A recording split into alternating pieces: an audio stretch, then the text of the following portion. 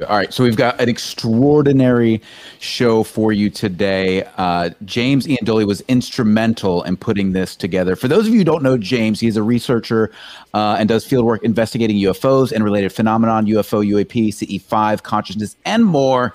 A direct and inclusive approach to the UFO phenomenon. Ladies and gentlemen, James Ian Iandoli. Hey guys, how you doing? We're Thanks doing great, man. Uh, thank you for putting this together. Uh, honestly, we could not have done this without your help. So so seriously, we appreciate it. Um, thanks, thank you for being here.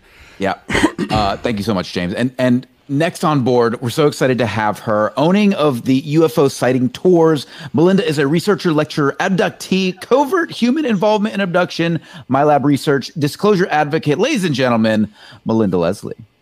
Hi there. Thank you for having me. I'm so excited to be with you guys today. Uh, I love your smile. it's a pleasure. It's so pleasure cute. to have you. So damn I, cute. I'm genu- genuinely excited. That's why. Good, good. Well, we're excited to have you here as well, Melinda. Thank you for being here.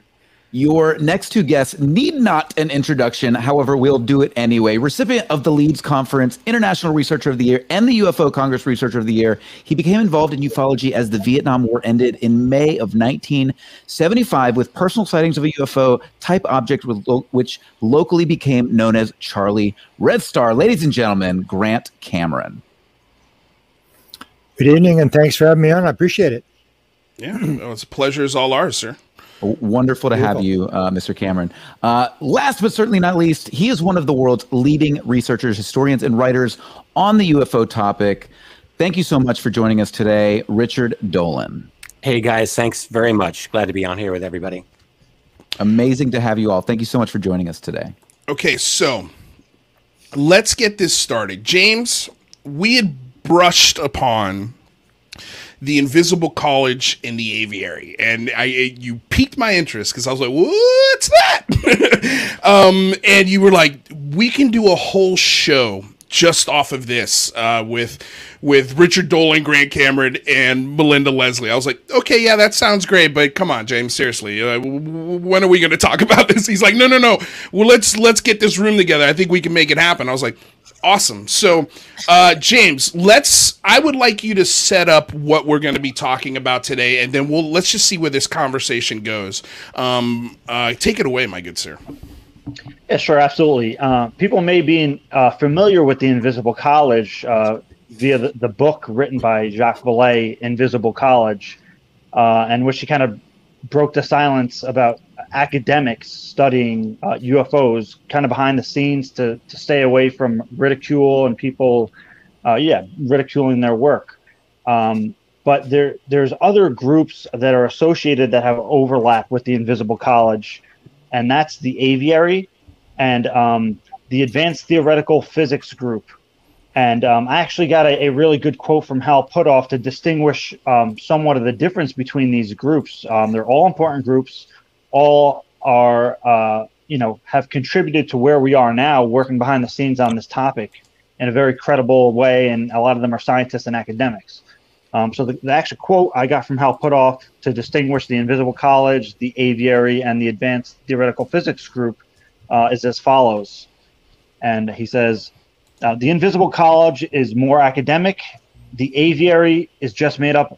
Uh, is a made-up name of interested individuals and researchers and the Advanced Theoretical Physics Group are all highly classified government researchers, all very different groups, even though there are overlap in some of the individuals. And you know, I wanted uh, Rich Dolan, obviously, is is uh, the probably the lead historian alive on on the UFO subject. So uh, you know, he's also had some interactions with these people, um, and he knows the history of um, of the subject very well.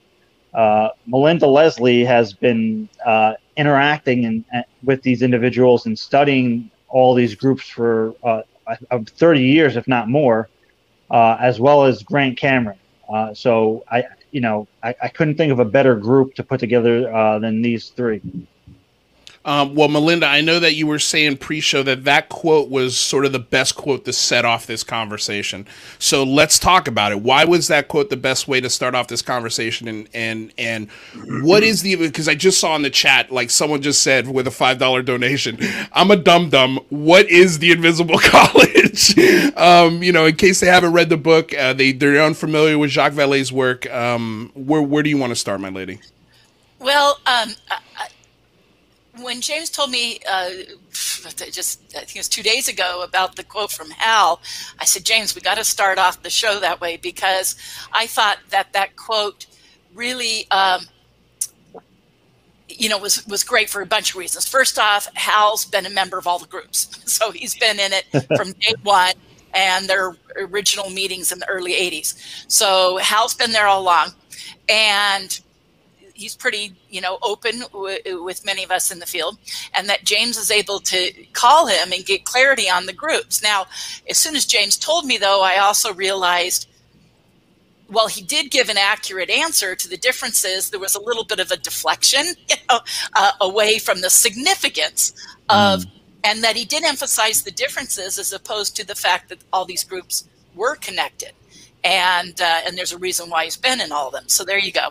So um, I, I, thought it was perfect because it's directly from the source from one of the members, and uh, and and again, while while it was accurate, there was a bit of a deflection in it away from the, the significance. So. Hmm. And then, as far as the Invisible College, I admit I did not read uh, Vallée's book, The Invisible College. And I did a little bit of research online, but I'm actually the wrong person to ask. So I'm going to deflect on one of the other guys who can answer that more thoroughly, because please educate me as well. Yeah, Grant, I saw you light up a little bit there. Uh, did you uh, did you have any thoughts on that?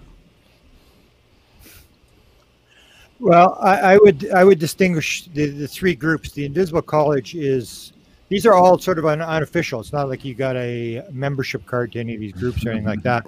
Right. The Invisible College goes back quite a ways, and it's just sort of a hypothetical um, understanding that there are a bunch of academics who don't want to be involved, or people who are in the background who are trying to get patents and stuff like that.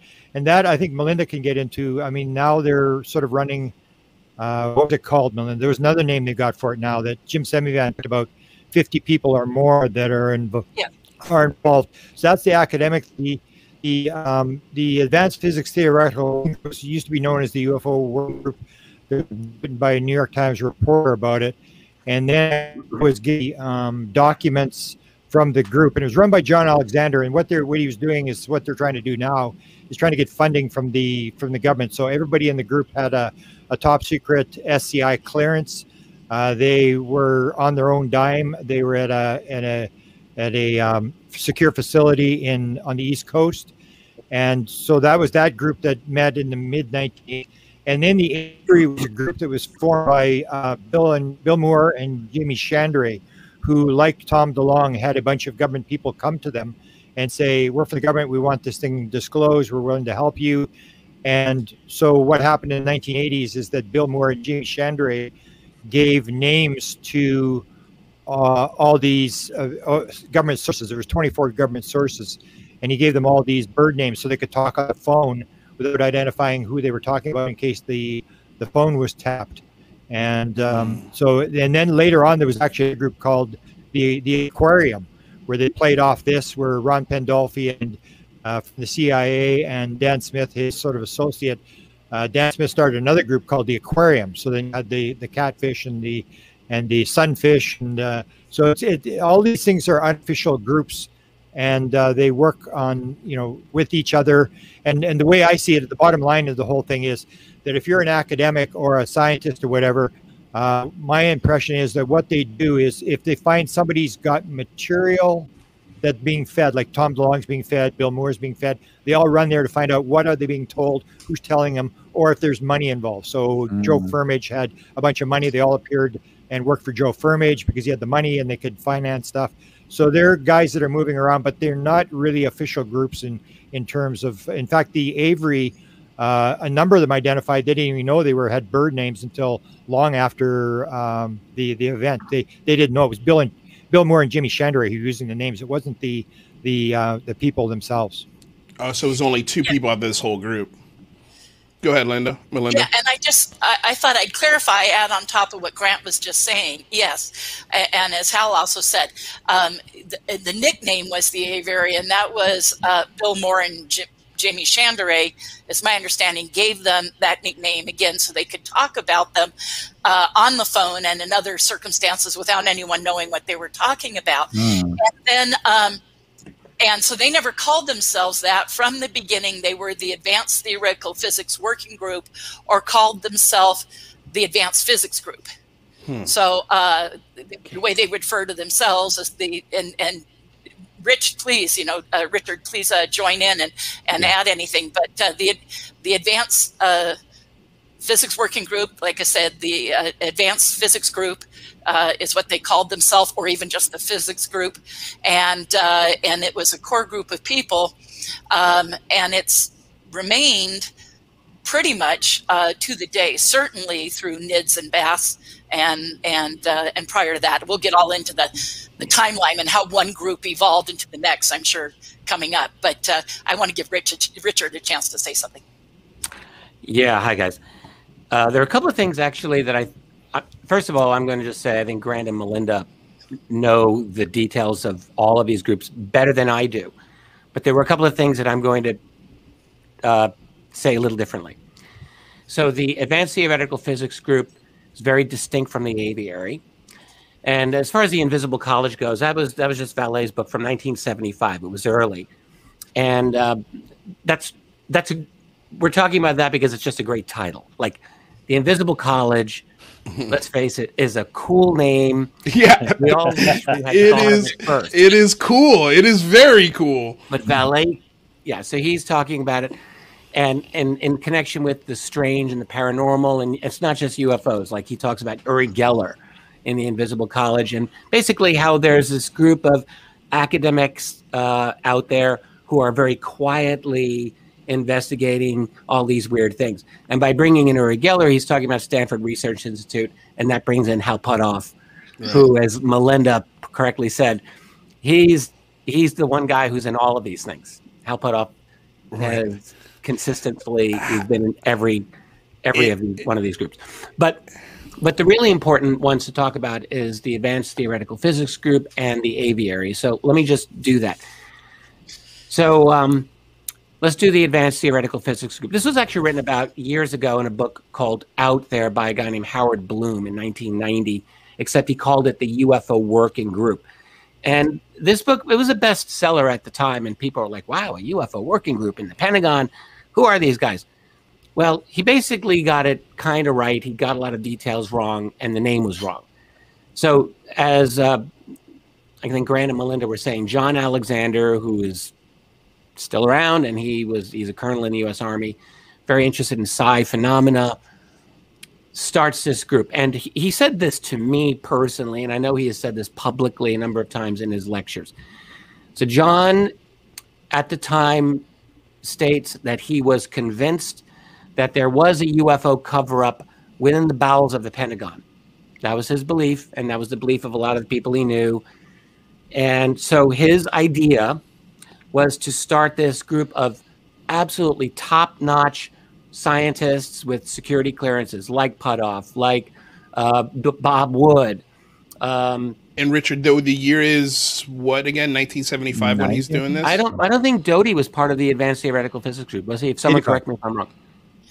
I didn't think that no. he was. No, no, he wasn't. No. No, no, he was not. But there were a lot of other very, very sharp uh, people. Ron Blackburn was part of it. He was another colonel with PhD.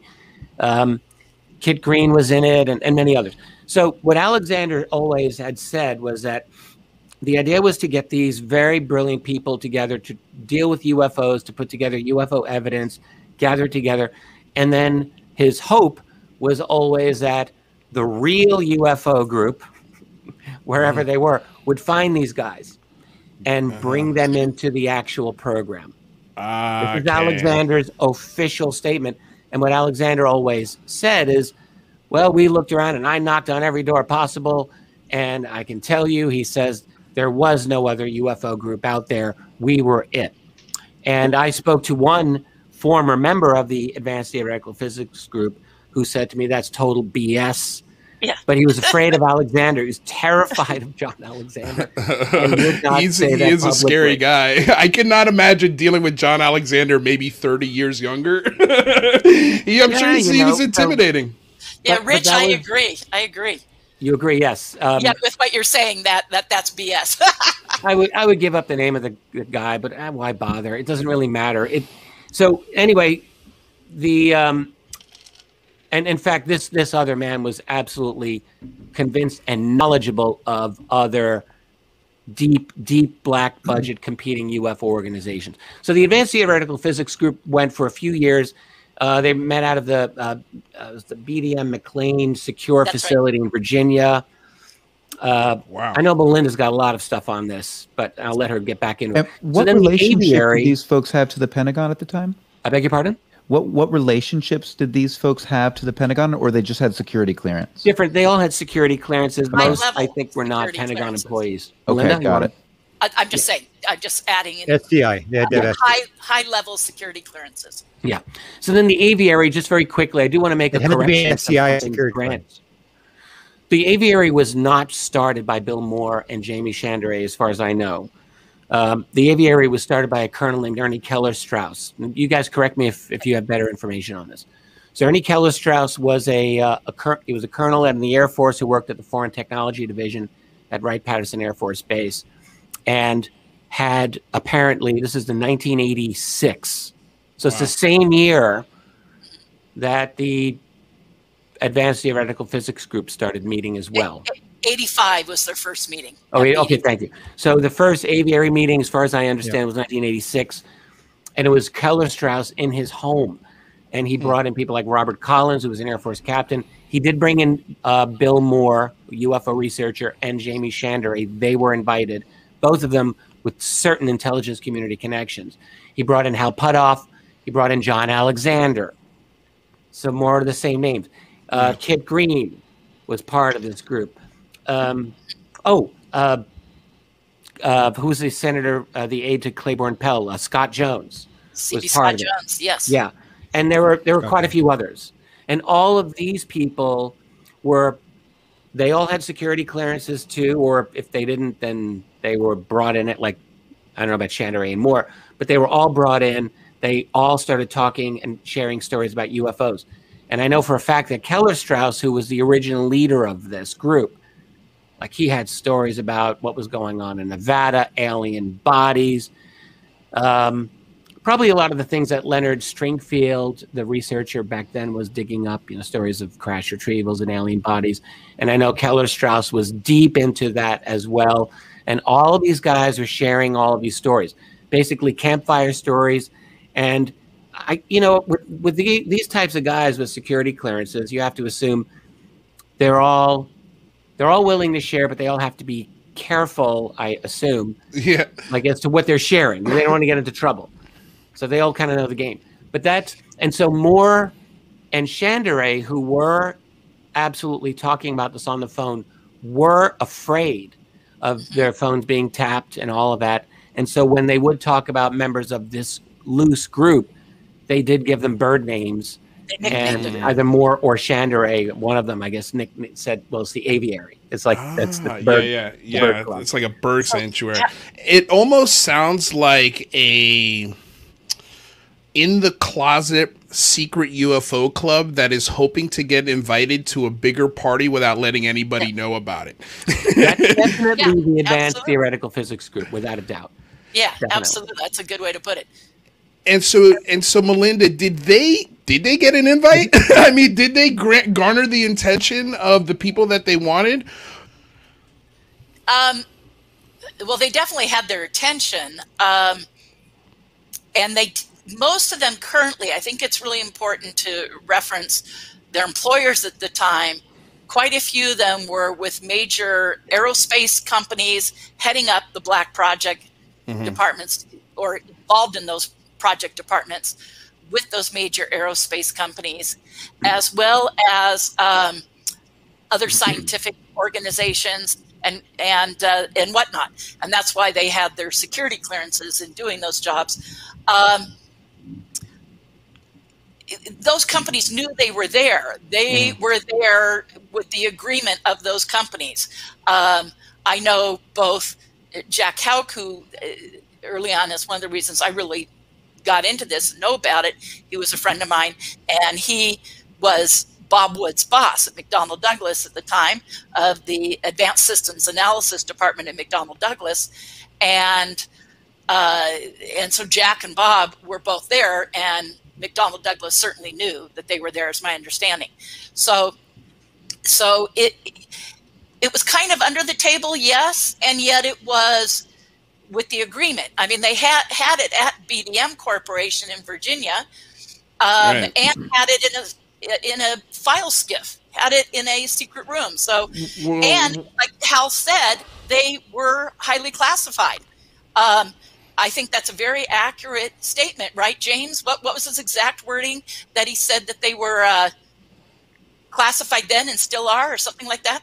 Yeah, well, he said he said specifically the difference between all the groups is that everyone in the advanced theoretical physics group are ha- have a high uh, security clearance, but the, the other groups were a mix of people who some did and some didn't. Um, but for sure that the physics group, I mean, were all specifically people with high high security clearances. Yes, and and I think it's important to yeah. note. Well, uh, one thing I would point out is that. Sorry, Grant. Go ahead.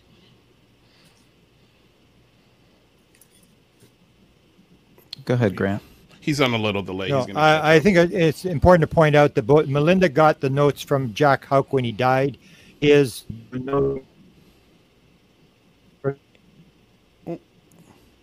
uh, so Melinda got the notes, the, the um, Advanced Physics Theoretical Working Group. And in fact, I started using it. They're still calling it the UFO Working Group. And then when I announced what the name was, then John Alexander said, well, it, it was called the Advanced Physics Theoretical Working Group, and nobody had notes. Then I said I got notes. Then he said nobody's supposed to take notes, but Melinda has Jack Houck's notes after he died.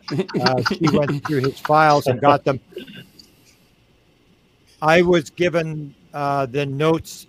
Um, I was given um, Oke Shannon, who, if you're familiar with the Wilson Leak, he's a player in the Wilson Leak. I was given his notes. Uh, I was told that I could release the notes. He has not died, so I have not released the notes. But the cover page showed that part of G, and um, I have the actual clearance of the two guys going into this, and it's a top secret restricted document. And so what happened was when I got the notes, I sort of announced this first at Eureka Springs. This would be about 2003 or four, and suddenly I got a uh, call from Hal Puthoff. He said, "Yeah, I understand you've got uh, notes um, of a, a meeting. Can you tell me who was at the meeting?" So I sent him all the names except for Oke Shannon's name, and I never heard from him again. Uh, but have the notes, and what, what, the notes to me is what the story John is putting out. From what I can tell from the notes, uh, they weren't getting anywhere. They they knew uh, Bobby Rainman with back engineering, but uh, this went from topic to topic. All these notes, and they had nothing significant that I could see in these notes. Melinda can talk about what was in Jack Houck's notes, but we both have the notes with the names of the people, so we know exactly who was in the group, and there was about 20 people. I, I may differ from you in that there's, at least in what I have, there's extremely significant stuff. It outlines